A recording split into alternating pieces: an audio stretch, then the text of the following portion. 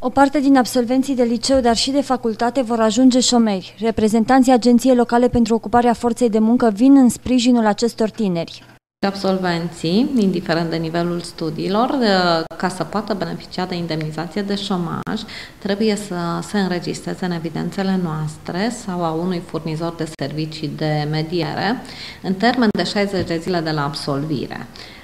Se înregistrează în prima fază pentru a-și căuta un loc de muncă, iar dacă în cele 60 de zile nu le putem oferi un loc de muncă, după expirarea lor pot să ceară și indemnizație de șomaj.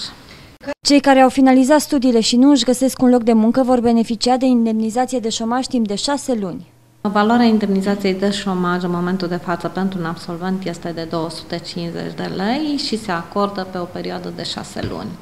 Absolvenții care primesc indemnizație de șomaj și se angajează în perioada de acordare a indemnizației pentru o perioadă mai mare de 12 luni beneficiază de o sumă egală cu indemnizația de șomaj la care ar fi avut dreptul până la expirarea perioadei de acordare a acesteia dacă nu s-ar fi angajat. Dreptul se acordă absolvenților care își mențin raporturile de muncă sau de serviciu pentru o perioadă de cel puțin 12 luni, fiind necesar ca persoana respectivă să solicite agenției județene unde a fost înregistrat în termen de maximum 60 de zile de la expirarea celor 12 luni de la data angajării.